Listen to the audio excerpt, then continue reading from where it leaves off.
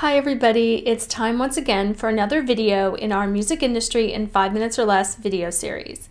I'm Renee Meredith, the COO of Exploration Group, and today's topic is How do you register your songs with the Copyright Office?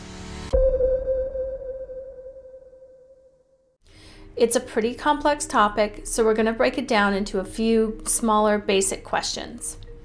First, do you need to register your songs in order to own the copyright? No, you don't.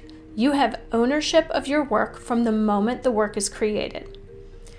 Registering with the Copyright Office does give you an additional layer of legal protections. This includes the ability to collect damages. It's also just an additional layer of protection for your songs. Can a songwriter register their work with the Copyright Office on their own? Yes, you absolutely can.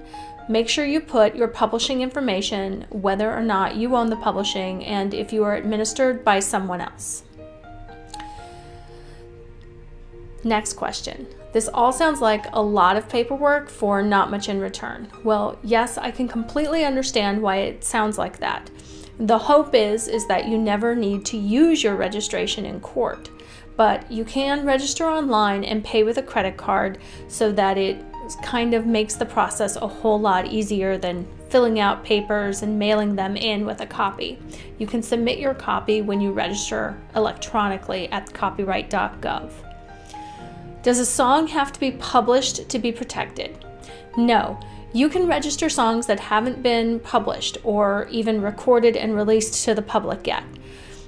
Even if it's your own self published or what would be considered an unpublished work. How much does this all cost? Well, the basic copyright registration fee is $65. If you are registering one work that's not a made for hire and you are the only author or claimant, then it could be as low as $45. The fees vary based on what you are registering and how you are registering it.